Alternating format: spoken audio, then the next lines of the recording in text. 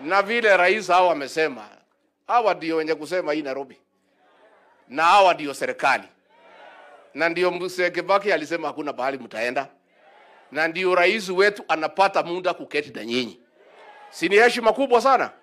Kwa hivyo ile assignment mtapewa leo, mtatekeleza.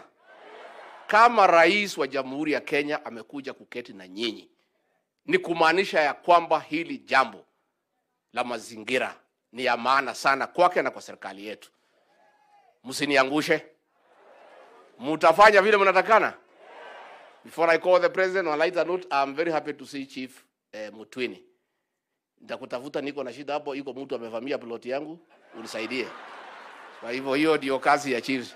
Kwa hivyo ndio ndio nimwalike rais, si ndio?